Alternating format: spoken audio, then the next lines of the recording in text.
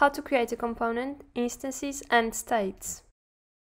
I have created a button and basically what I want to do is to turn this button element into a component.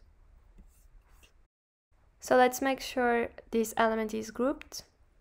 And then on the right side, we have the ability to turn this element into a component, clicking on the plus icon. And then we can check if it's added on the left side on the components list. Let's call it button 1.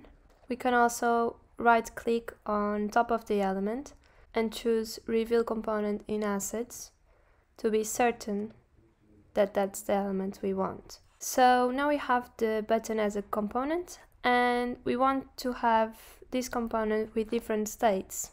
So on the right side, let's click on the plus icon again and create a new state for this component. In this case, I will remove the border and choose the fill option. And I will also turn the wording to white.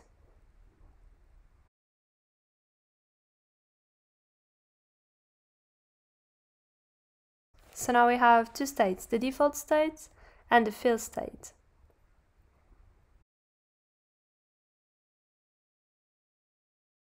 Try to duplicate the component you just created and change the label and color on the first one.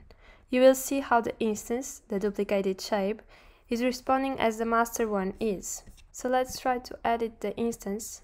If we move anything on the master, it will move also in the instance.